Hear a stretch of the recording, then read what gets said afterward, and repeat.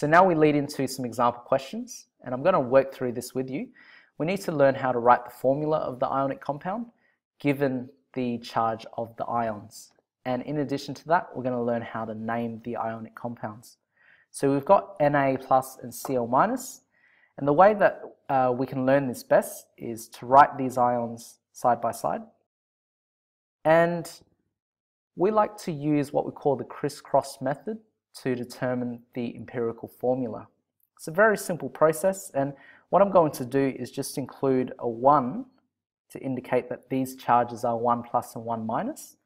And what we do is we just simply take the number of the charge of one ion and move it to the bottom right of the other ion.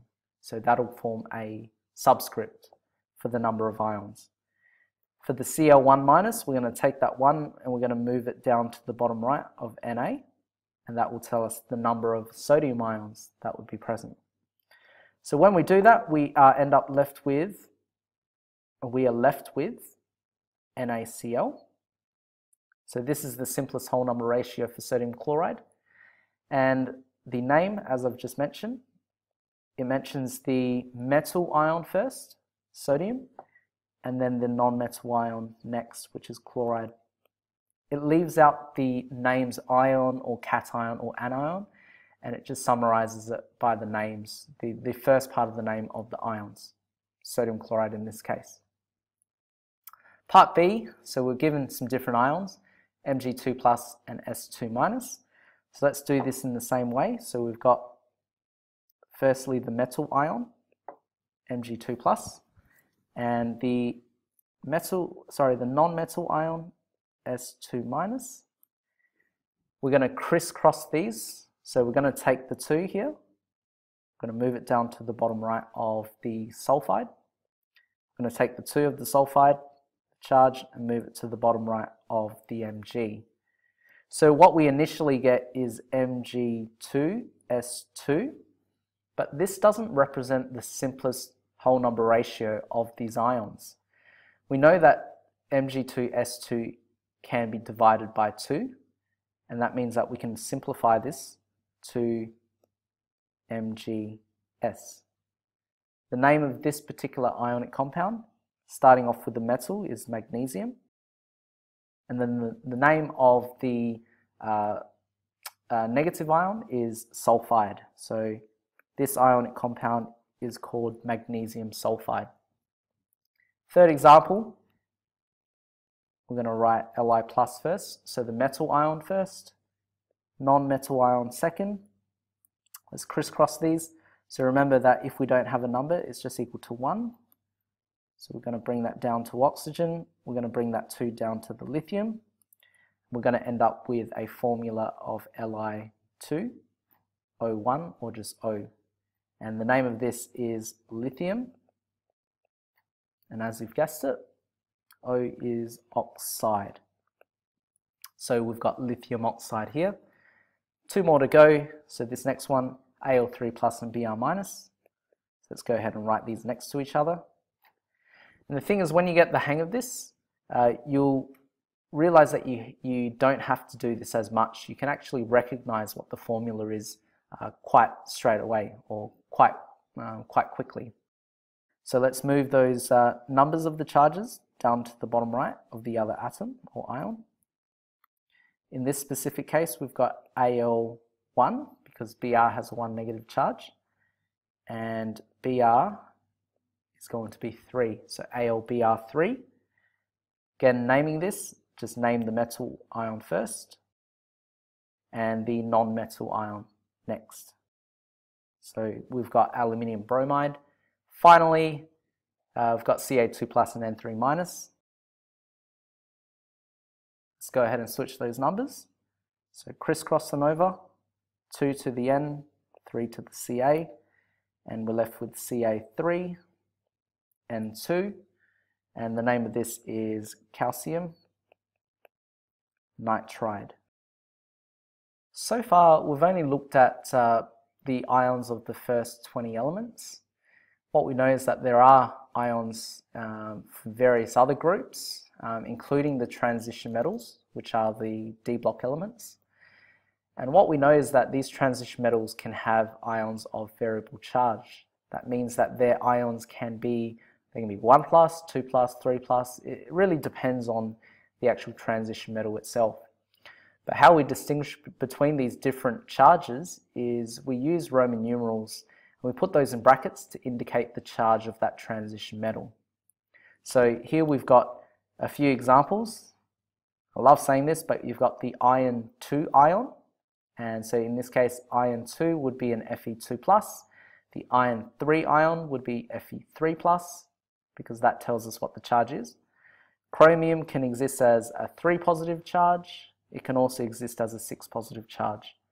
So what we do is we ensure that this uh, naming convention also is retained when we name the ionic compound and you should be able to work out what the charge of the ion is given its formula. So we've got some more example questions here. So we've got Fe2 plus and F minus, keeping in mind that iron 2 plus is a transition metal and it can have a variable charge. So let's go ahead and uh, determine the formula first. We'll go ahead and crisscross. Here's our formula, FeF2 and then the name is going to be iron. Keep in mind it's a 2 positive charge, so it's going to be an iron 2 fluoride. Next example, we've got Pb4 plus and S2 minus, so Pb is lead. This is going to be the lead 4 ion. So let's go ahead and do this one. I'm going to crisscross them over. And what might you what you might start to see is that if we look at counting the amount of charges, we could easily work out the simplest ratio would need to balance out those charges. So in this case, we've got PB, we can start it off just by crossing them over. But what we realize is that that's not the simplest whole number ratio. So we need to cancel this down. We divide both of those by 2 and we end up getting PBS2. To name this, again, we just need to keep in mind that lead is lead 4, so it's going to be lead 4 in Roman numerals, sulfide. The last thing that we're going to consider uh, during this video is about polyatomic ions. And this should have been made apparent to you in previous studies. These are what we can also refer to as molecular ions, and these are just groups of atoms that can carry a formal or a net charge what we have to do is try and treat these polyatomic ions as single units or single atoms. And when we look at writing the formula of these, it works in exactly the same way. But the only additional point is we need to put this whole group in brackets if we end up with multiple groups um, in the empirical formula. So a few examples we've got here, and these are ones that we would like for you to actually commit to memory. So we've got carbonate, it's a CO3 2 negative. So this whole group of atoms carries a 2 negative charge. You have what we call a hydrogen carbonate, which uh, adds an additional hydrogen with a positive uh, charge to give us HCO3 negative. So this group carries a negative charge. You've got sulfates, sulfites, and so on. And so many of these are things that we'll commonly see uh, throughout the course you will be given a table of ions of some sort. So this one shows you one example. And uh, we're not going to expect you this year to actually know these completely off by heart, but uh, we will eventually get you to actually know a, a, range of these or be able to work them out, especially if they are monatomic ions. So let's have a look at how we can solve for these ones. We've got two different ions. One of them is polyatomic. So let's go ahead and write the uh, formulae of the ions first. We still just need to crisscross them over and we end up getting Na2, CO3. The CO3 2 minus ion is called a carbonate, so the name of this is going to be sodium carbonate. So it's just the positive ion first, followed by the negative ion second. The next one, Ca2 plus and NO3 minus. Again, I think by now you guys are getting the hang of this. So cross them over. So this one's going to work out a little bit differently because what we'll see is firstly the calcium will uh, be 1. Okay, so there's one calcium, but we need two of these NO3 minus groups or two of these nitrate groups. So to show that, what we have to do is put it in brackets. We put the NO3 in brackets, and then we put a 2 outside the bracket to show that we've got two nitrate groups for every one calcium ion. The name of this is calcium nitrate. And again, positive ion followed by negative ion. Next example, I've introduced two different polyatomic ions. So we'll write them next to each other. Let's cross them over. So we end up getting two lots of the NH4 plus ion. Uh, so this is a, an ammonium ion. So we're going to put this in brackets, NH4 in brackets, and then a 2 outside the brackets to show we've got two of them. The SO4 2 minus, which is a sulfate ion, we only have one of, so we can just write that outside of brackets. And so its name is going to be ammonium sulfate. A couple more. So Al3 plus, OH minus, cross them over. And eventually, like I said, you will get the hang of this and you won't need to do this crossover method. You'll already learn how to identify what the formula is. So what we end up getting is 1 Al, but we need three OH minus groups. So we're going to put the OH in brackets. Remember to leave out the charges because they balance out. And we've got three lots of them.